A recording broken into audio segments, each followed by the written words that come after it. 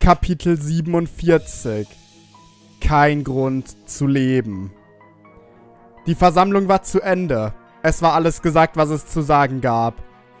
Die Nacht war inzwischen angebrochen und auch wenn viele der Pokémon nicht mit Schlaf rechneten, wollten die meisten jedoch trotzdem versuchen, Ruhe zu finden. Gerade nun, wo sie den Feind wahrlich kannten.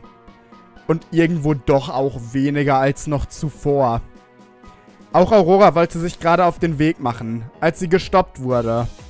Hey Aurora, kann ich kurz mit dir reden und auch mit dir, Kel? Zweiterer gab keine Antwort, sondern blickte bloß leer auf den Boden. Aurora hingegen zeigte sich gesprächiger. Wenn es schnell geht, ja. Was willst du denn? Kurz legte sich Seraora seine Worte zurecht. Er wollte jetzt nichts Falsches sagen, auch wenn es gerade jetzt sehr viel Raum dafür gab. Ich, ich weiß, wie sehr du auch über Epsilons Worte nachdenkst. Gerade über ihre letzte Offenbarung. Du weißt schon, über den Plot. Ein leises Grummeln erklang neben Aurora, doch sie ignorierte es. Jetzt, wo die Dinge letztlich stehen, wie sie es tun. Wir sitzen alle im selben Boot im Kampf gegen diese Lüge. Der Plot ist nicht zwiespältig. Er würde niemals so einen Krieg wollen. Das weißt du so gut wie ich. Das ist einfach nicht, was Plot ist. Plot ist nun mal etwas Reines und Gutes und... Bevor der Einzelgänger weitersprechen konnte, streiften Krallen seine Seite. Die Glut war in Kells Augen zurückgekehrt, als er angriff.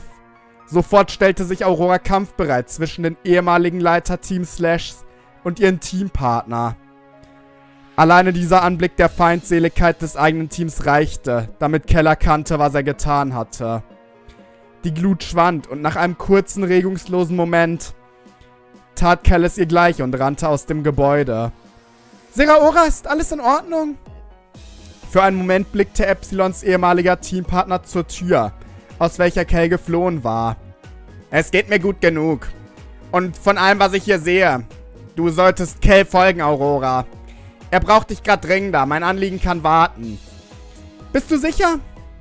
Irgendwo freute sich Aurora sehr über dieses Verständnis, da sie wusste, dass sie Kel besser nicht alleine lassen sollte.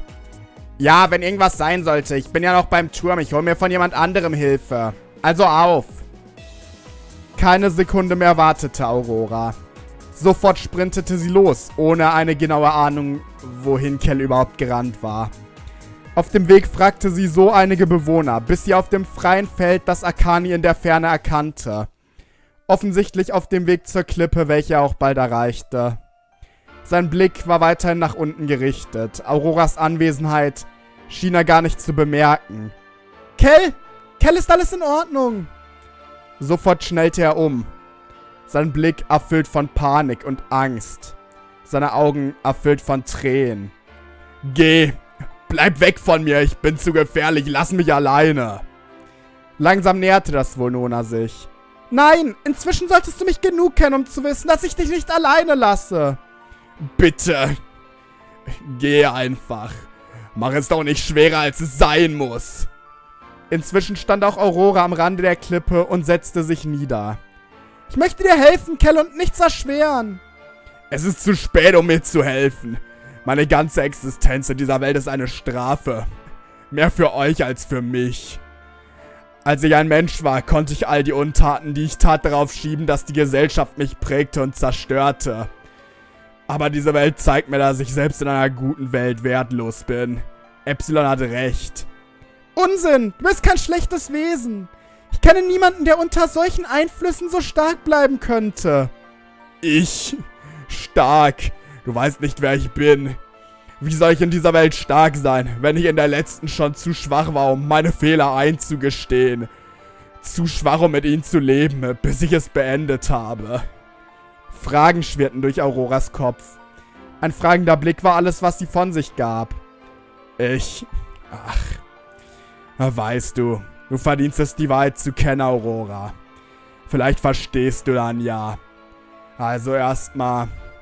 Du hast mir nicht geglaubt, dass ich mein Leben als Mensch vergessen hätte, richtig. Wieder ließ Aurora ihre Antwort wortlos ausfallen, doch mit einem Kopfschütteln. Ja, verständlicherweise, ich bin nicht der beste Lügner. Also, dann lass mich dir etwas erzählen. Rund 16 Jahre war ich alt. Noch lebte ich mit meinen Eltern zusammen, auch wenn ich wenig mit ihnen zu tun hatte und haben wollte, genauso wie sie mit mir. Meine Schullaufbahn hatte ich beendet. Ich war früh abgegangen. Einen Job fand ich auch nicht.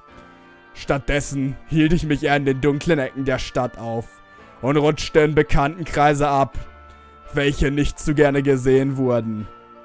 Aber immerhin fand ich dort auch keine Freunde. Alles, was es mir brachte, war, dass ich begann zu stehlen, weil ich keinen Job fand und mich damit am Leben halten wollte. Und ich nahm Substanzen, um mich bei Laune zu halten. Kaum war ich 18, schmissen meine Eltern mich raus. Es war eine schwere Zeit für mich. Ohne Bildung und Beruf. Im Prinzip lebte ich einfach als eine Art Verbrecher. Jeden Tag aufs Neue musste ich Strafarbeit leisten, für die Male, bei denen ich erwischt wurde. Geld hatte ich keins, eine Wohnung bekam ich gestellt. Das Einzige, was mich an diesen Tagen antrieb, war... Das Einzige, was mich antrieb, war sie. Sie war die einzige Person, mit welcher ich mich verstand. Weder fühlte ich mich ignoriert, noch gab sie mir das Gefühl, ich würde sie zu sehr nerven. Sie war... Sie war die erste Person, in die ich mich verliebt hatte. Und auch wenn ich bis heute nicht weiß, wie sie überhaupt so denken konnte. Es beruhte anscheinend auf Gegenseitigkeit. Wir sahen uns meistens nur am Wochenende, doch trotzdem fühlte es sich an, als würden wir uns so endlos nahestehen und Trotzdem schaffte ich es auch mit ihrer Hilfe nicht immer, meine Depression zu verbergen. Ich war einfach an einem Punkt angekommen, an welchem ich am Boden war und nicht wieder aufstehen konnte. Und meine Gesundheit litt natürlich auch darunter. Und im Verlaufe der Zeit mit all ihren Sorgen auch ihre. Bloß, dass sie, anders als ich, nicht abgehärtet gegen den Schmerz war durch all die Dinge, die ich erlebt hatte all die Stoffe, die mich am Leben hielten. Und eines Morgens. Es war auf einmal alles vorbei. Die einzige Person, die mir im Leben etwas bedeutet hatte, war tot. Sie hatte sich selbst umgebracht, mitten in der Nacht. Sie hielt dem Druck nicht mehr stand, den Sorgen, meinem Leid. Mir. Von diesem Tag an verlief jeder Tag gleich.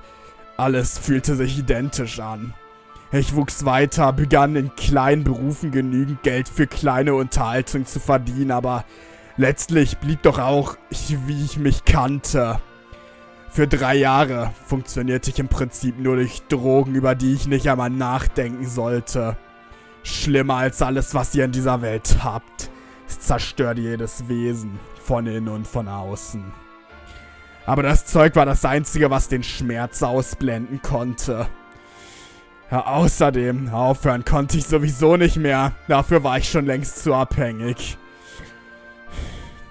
Dann nach einigen Monaten. Es war ein Abend wie jeder. Ich wollte wieder nach Hause, es stürmte. Ich fuhr in einem Auto, was ein tonnenschweres Fortbewegungsmittel ist und düste weg.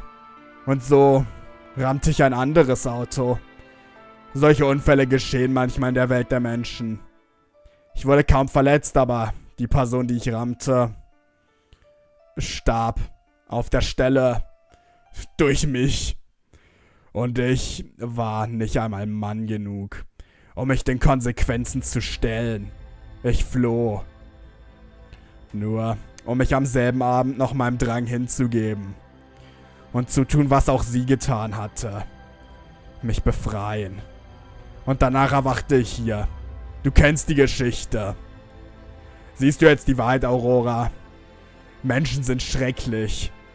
Aber selbst für einen der ihren war ich noch einmal schlimmer. Denen, die sich mit mir abgeben, bringe ich nichts als den Tod. Und weil ich nicht mit meinen eigenen Fehlern leben konnte, strafte mich das Schicksal und machte aus mir einen Fehler, den diese Welt nun ausbaden muss. Es ist für alle das Beste. Wenn ich es einfach beende, Als Antwort bekam das Akani wieder keine Worte, sondern einen Hieb auf den Hinterkopf. Was soll das auf einmal? Du willst das wirklich zur Gewohnheit machen, oder? Wenn du weiter so eine Scheiße redest, dann ja. Ich will nie wieder hören, dass du so über dich selber redest, Kell. Unverständnis machte sich in seinem Verstand breit.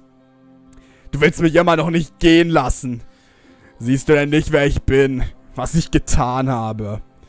An meinen Händen klebt Blut, Aurora. Der Mensch Kell und das Arcani Kell sind zwei Wesen, nicht eins. In dieser Welt sind die Dinge anders. Hier gibt es Pokémon, die sich um dich sorgen. Ach, wirklich. Alleine die Vorstellung wirkte für das Arcani absurd. Mit Monagoras habe ich es mir schon lange verspielt. Marcello hasst mich immer noch für die Ereignisse am Eisberg. Verständlicherweise. Elementara sieht in mir eine Belastung für die Liga. Und von anderen brauche ich nicht einmal anfangen. Nenne mir ein Pokémon, das mich vermissen würde. Ich! Für einen Moment verging Kel die Sprache. Er hatte mit vielen Argumenten gerechnet, die er für sich alle bereits entkräftet hatte. Aber er hatte nicht erwartet, dass gerade das Pokémon, welches durch seinen eigenen Egoismus ums Leben gekommen war, so über ihn denken könnte. Mir ist scheißegal, was du in deiner Vergangenheit alles getan haben sollst. Die Gegenwart ist hier und was ich sehe, ist ein Pokémon mit reinem Herzen, aber großem Leid. Es gibt nur zwei Pokémon, die dich so hassen, Kel, so sehr du dir etwas einreden möchtest. Zwei? Kel konnte sich nicht vorstellen, wie Aurora auf 2 kam.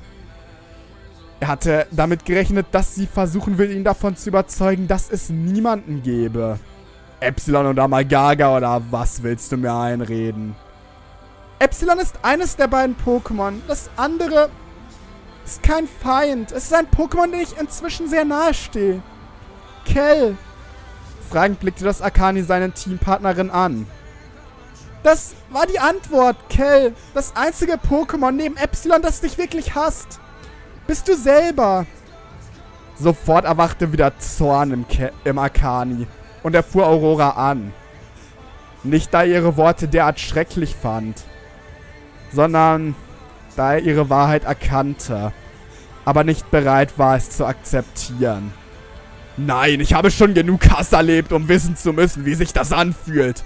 Und selbst wenn du recht hättest, was würde es ändern? Ich bin trotzdem eine Gefahr. Ein Wahnsinniger, der jeden Moment die Kontrolle verlieren kann. Der einzige Weg sicher zu gehen, dass ich niemanden verletze, ist mein Tod. Und was ist mit der Plot-Armor? Wir haben die Hälfte bereits und auch die andere Hälfte werden wir bestimmt bald finden. Außerdem entspringen deine Anfälle nicht immer aus Zorn, sondern es dann nicht gerade Pokémon wie unser Team, deine Freunde, die dir helfen können, damit sich die Dinge bessern. Wir könnten dir helfen, wenn du nur aufhören würdest, an dir selber zu zweifeln. Deswegen gib dir bitte selber die Chance zu heilen. Wir alle wollen dir helfen. Ich will dir helfen. Dieses Mal benötigte Kell einen Moment, um eine Antwort zu finden. Immer noch wollte er nicht nachgeben. Nein, die Plot-Armor ist keine Option. Wir haben keine Idee, wo der Rest sein könnte. Vielleicht existiert sie nicht einmal mehr. Und je länger ich bleibe, desto... desto eher riskiere ich, dass euch dasselbe passiert. Wie ihr. Gerade du, Aurora, du machst dir so viele Sorgen um mich. Womit habe ich das verdient? Dadurch, dass ich dich angelogen habe, verraten, zurückgelassen, verletzt. Dadurch, dass ich nichts als Probleme mache.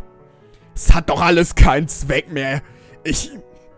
Ich habe keinen Grund zu leben, nur Gründe zu sterben.